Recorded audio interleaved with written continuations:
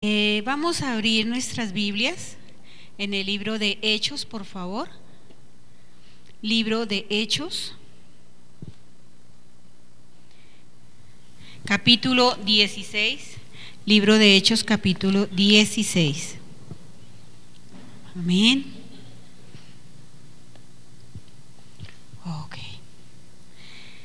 Capítulo 16, Nuevo Testamento, libro de los Hechos, vamos a leer del versículo 11 al versículo 18, 19. Versículo 11 a versículo 19. Amén. En el nombre del Padre, en el nombre del Hijo, en el nombre del Espíritu Santo. Dice Zarpando pues de Troas, vinimos con rumbo directo a Samotracia y al día siguiente a Neápolis, y de allí a Filipos, que es la primera ciudad de la provincia de Macedonia, y una colonia, y estuvimos en aquella ciudad algunos días.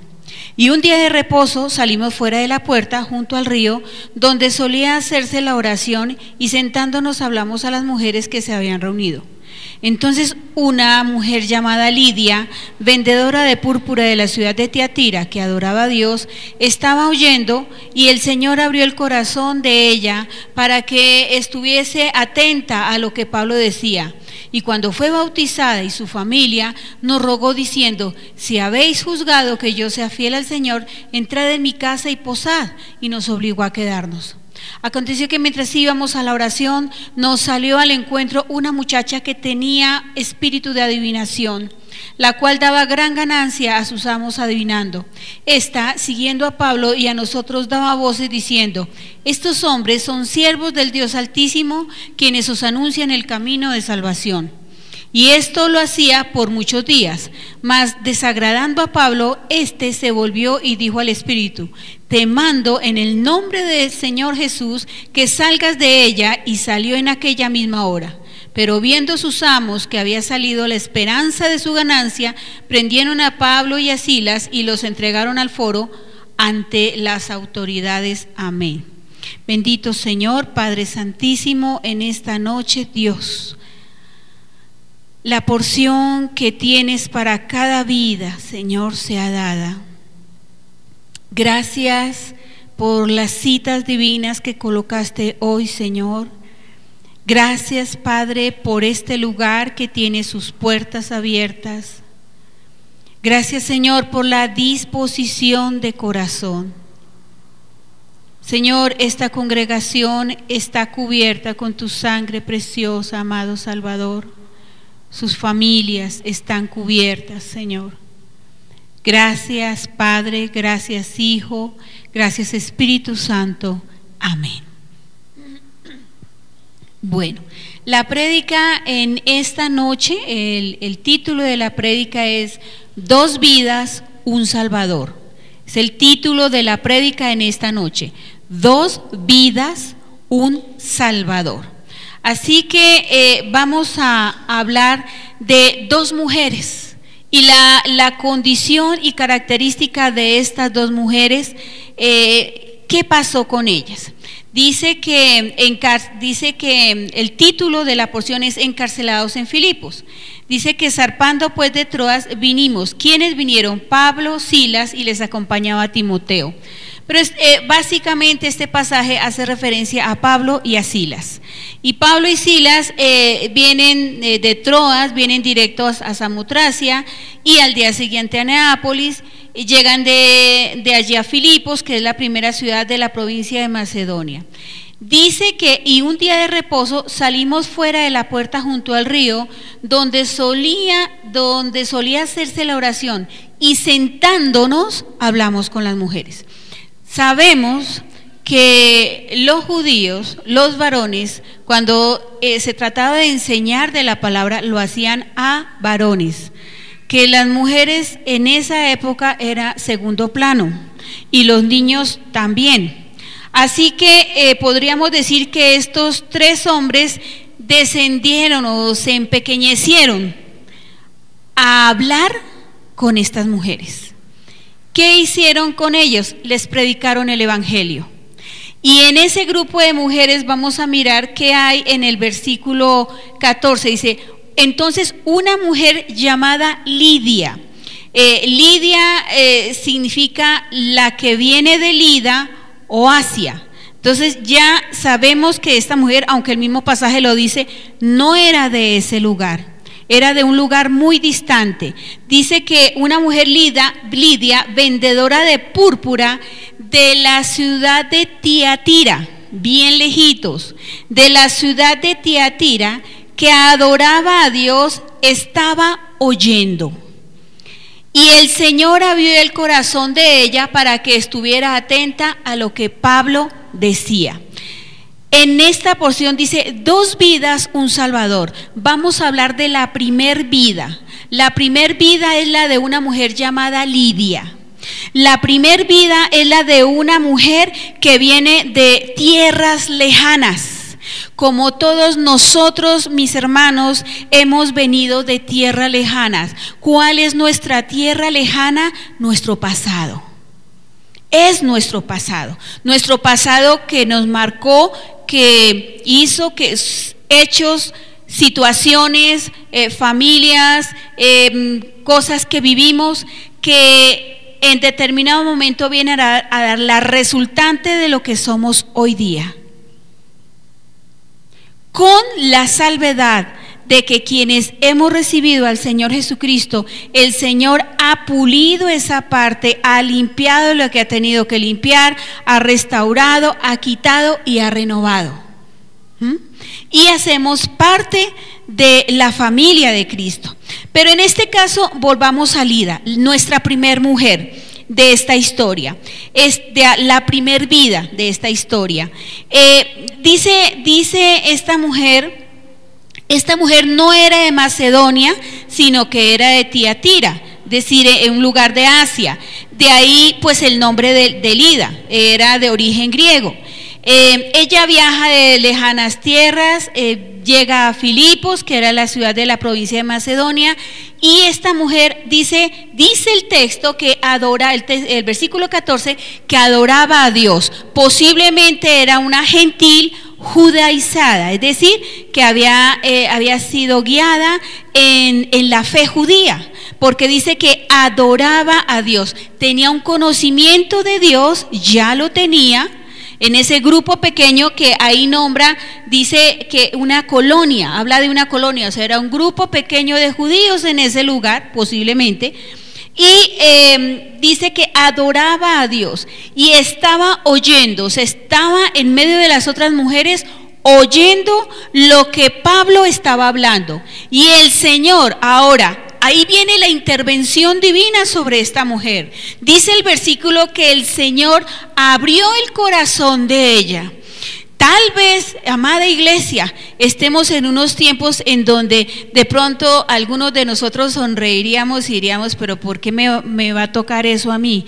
Tal vez, iglesia, algunos de nosotros estemos atravesando por momentos en donde se hace necesario que nuevamente el Señor abra nuestro corazón para escucharle a Él, para entender lo que Él nos quiere decir. Entonces dice que abrió el corazón de ella. Señor, en esta hora abre nuestro corazón para entender esa porción que tú tienes para nosotros. Y dice, para que estuviese atenta a lo que Pablo decía, para que tuviera atención a lo que Pablo estuviera hablando. Yo supongo, mis hermanas, yo supongo que si estaban las mujeres a la orilla del río, dice, mm, salimos fuera de la puerta junto al río donde se solía hacer la oración y sentándonos hablamos con las mujeres. Supongo que, supongo que las mujeres no estaban solas. Supongo que las mujeres estarían ocupadas, de pronto, no sé, se me viene lavando sus ropas y pues al lado de las mamás, ¿quiénes están? Los hijitos.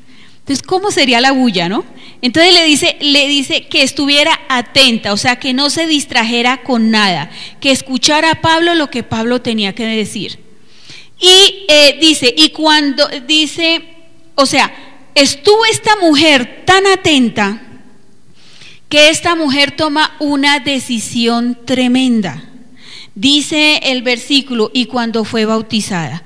Vamos a mirar otra parte del versículo 14. Dice que esta mujer era una vendedora de púrpura. ¿Qué era púrpura? Mm, púrpura eh, es, eh, un, tinte que se obtenía de un, de un marisco que se llamaba murex. Entonces, este, este marisco eh, se le extraía la glándula y al exprimirse esa, glándula producía un líquido lechoso, espeso, que ese líquido al, recibir el, el, aire, o sea que al quedar expuesto, tomaba un color rojo. ¿Para qué usaban ese líquido? Decía que eh, um, era eh, púrpura, perdón, en un color púrpura, igual. Eh, se teñían las telas que eran usadas por los aristócratas. Así que eh, Lidia era una mujer que se codeaba con gente importante. ¿Qué vamos mirando de, de Lidia? Primero, era una mujer adulta. Ahí habla de que es una mujer, ya era, diríamos, hecha y derecha. Y tomó, y aún tomó así, tomó esa decisión. Era una mujer que conocía a Dios, segundo aspecto de esta mujer. Tercero, anhelaba conocerle más. Ese era el anhelo de Lidia. Em, eh, aparte de eso, era una mujer comerciante. Supongo que ella no se, no se, no se daba el trabajo de, de, coger los animalitos y estirparle las glándulas así a todos. Supongo que ella tenía sus empleados, no, no sé cómo le decían en esa época, pero tenía gente que la lloraba. Uno en los criaderos de los animalitos, de las, de las que, de los mariscos, en los criaderos de los mariscos que, se los fueran apartando, otros que cogían y les arrancaban las glándulas y las exprimían y otros que los sacaban a airear para que le cambiara el color. Bueno, era una mujer que tenía gente a su cargo. Eh, ¿Qué otra característica vemos en Lida? Dice el versículo 15, y cuando fue bautizada y su familia nos rogó diciendo, hasta ahí, esta mujer tomó la determinación de hacerse bautizar. Así que esta mujer, aparte de esto, eh, era una mujer determinada, otra característica. Otra característica era una mujer que tenía familia. Ahí lo dice el versículo 15. Y su familia, tenía familia. Otra característica era líder en su casa.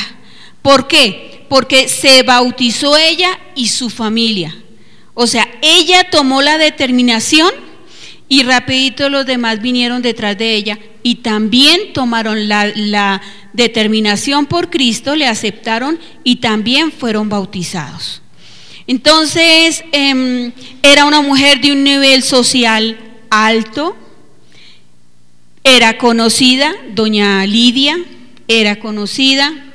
Em, y era una mujer eh, que, se sometió, que se sometió a ser evaluada.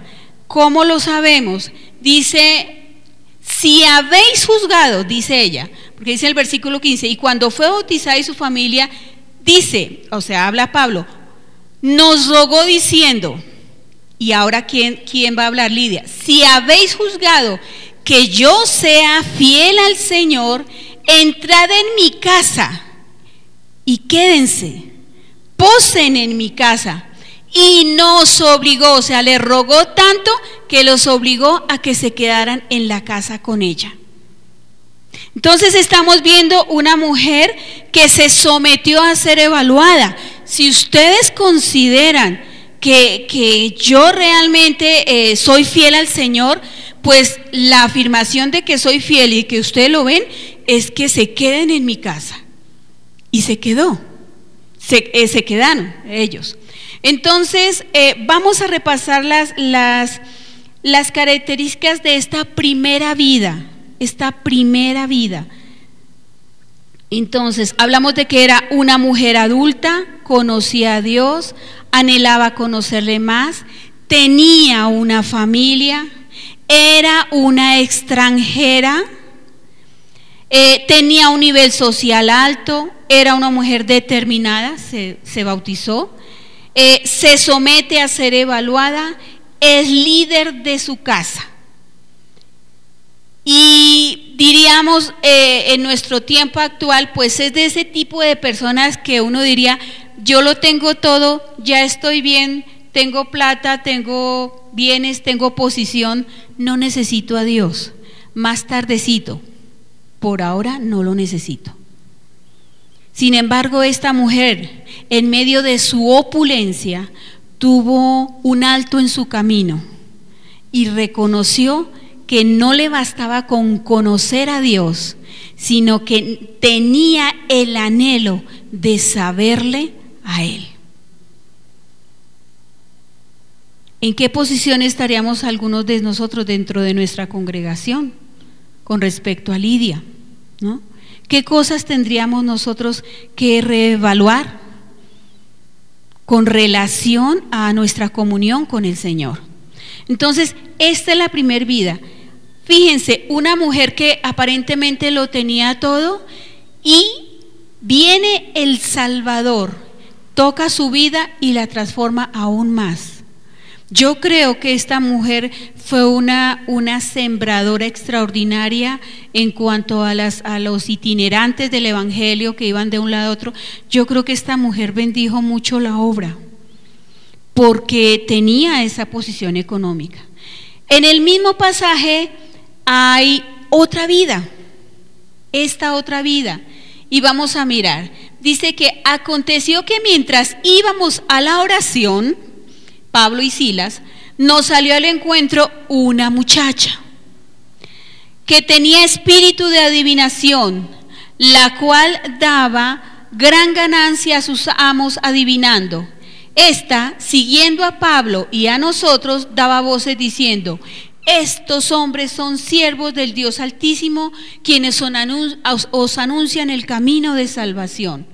Y esto lo hacía por muchos días, mas desagradando a Pablo, éste se volvió y dijo al Espíritu, te mando en el nombre de Jesucristo que salgas de ella y salió en aquella misma hora. Hasta ahí. Esta es la segunda vida. El título de nuestra enseñanza en esta noche era Dos vidas, un Salvador. Entonces está la vida de la opulencia, ahora veremos la otra vida, la otra vida. Es curioso que mientras de Lida en, este, en, la, en el pasaje que nosotros hemos leído, solo tres versículos hacen referencia a Lida.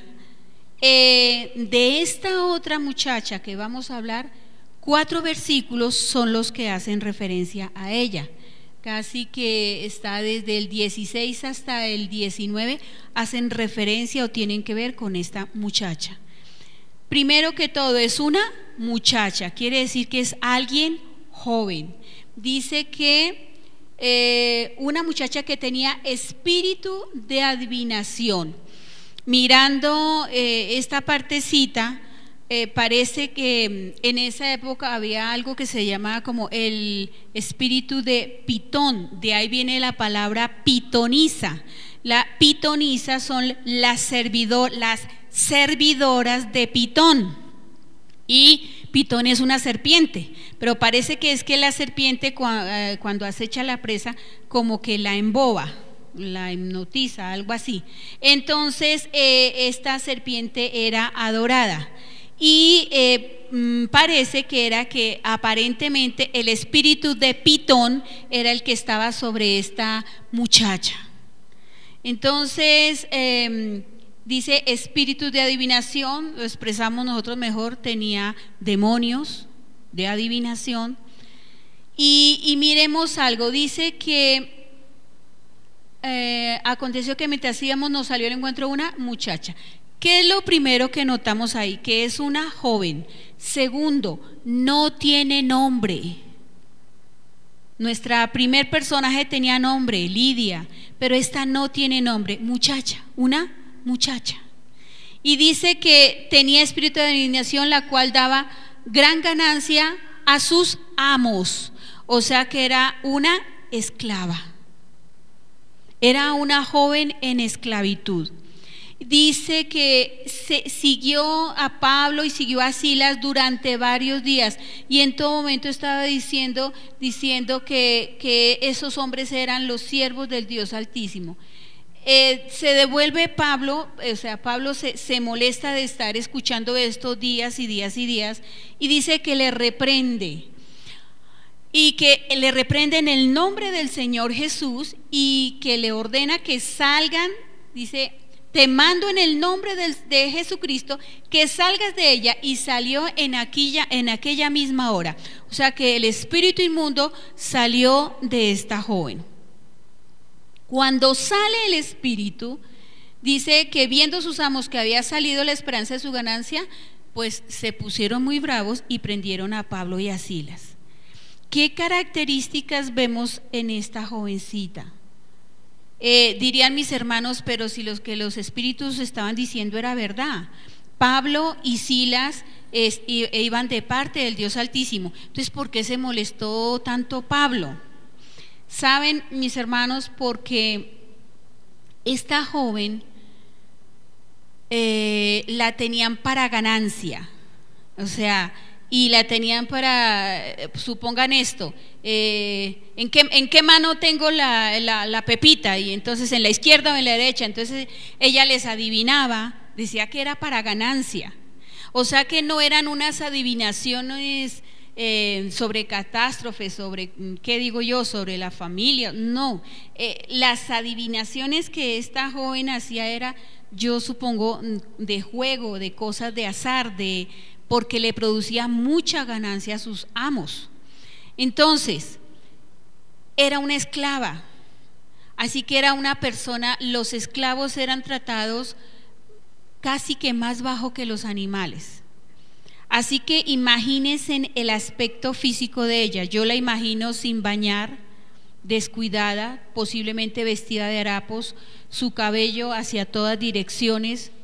Yo la imagino casi que con los ojos desorbitados, gritando detrás de Pablo y de Silas, estos son los siervos del... No diríamos bueno, si pasáramos unos de nosotros, estos son los siervos, esperen un momento, silencio, miren, es que estos son los siervos del Dios Altísimo eh, que les viene a hablar de la salvación, se los presento. No creo que así hiciera la jovencita, sino que saltaría, gritaría en aullidos casi como tipo locura.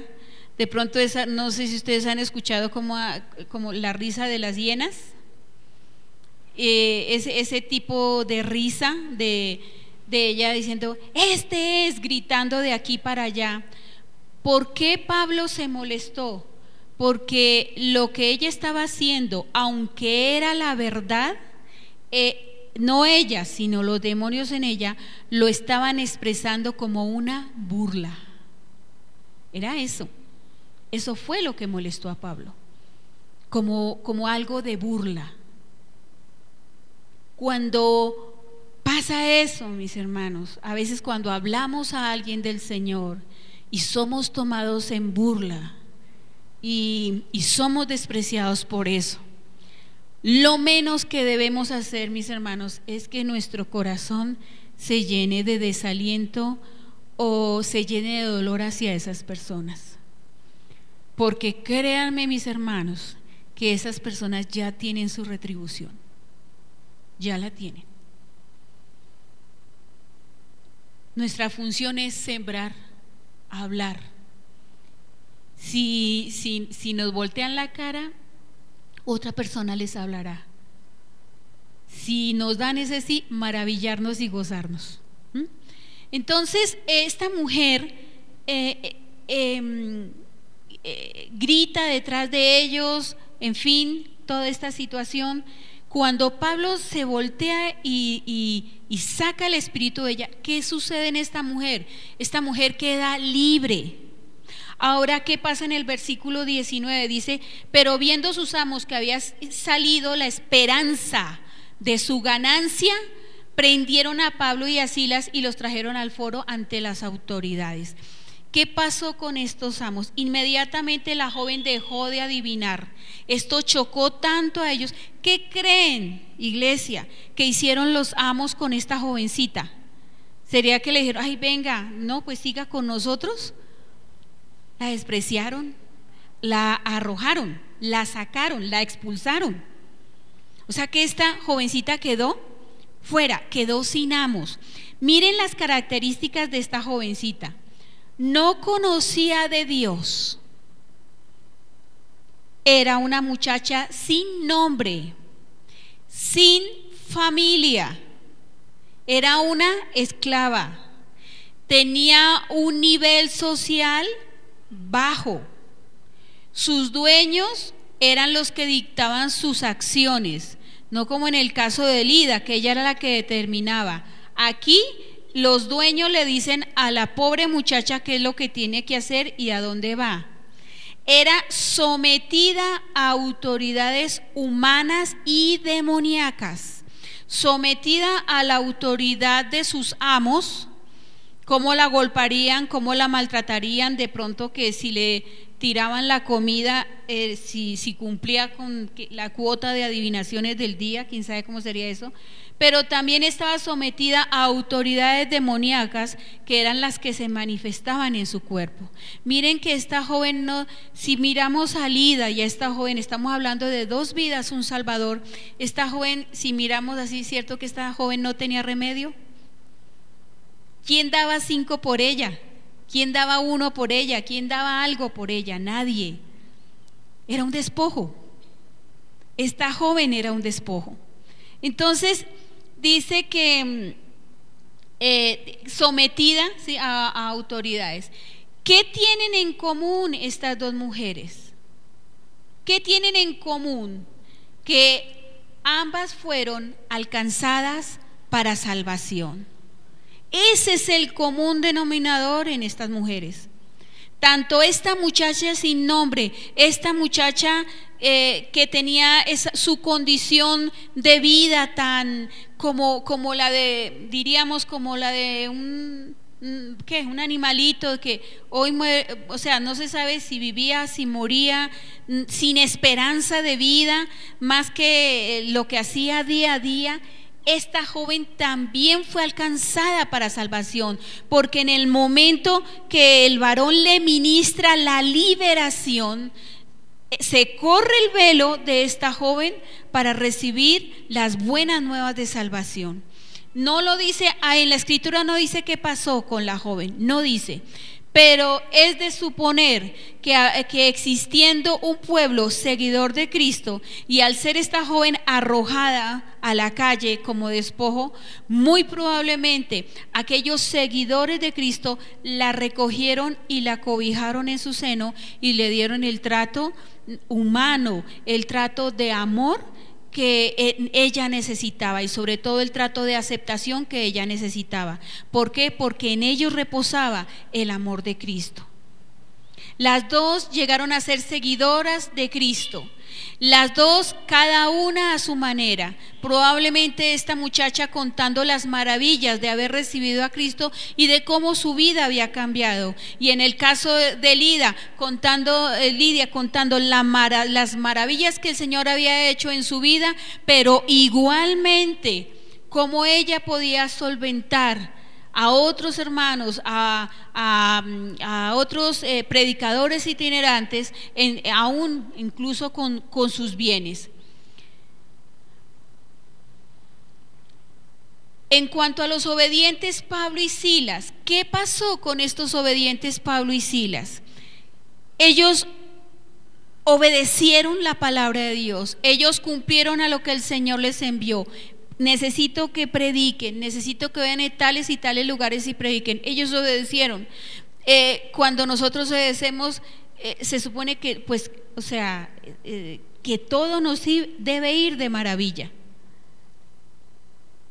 Pues es lo que, lo que, lo que esperamos. Pero de maravilla de acuerdo a nuestro punto de vista. Pero miren lo que pasa. Mientras que cuando Lidia acepta al Señor, son abiertas las puertas de la casa de ella, estos hombres son atendidos, se les suplica que se queden, eh, son, son reconocidos, son amados en, en medio de la familia de Lidia.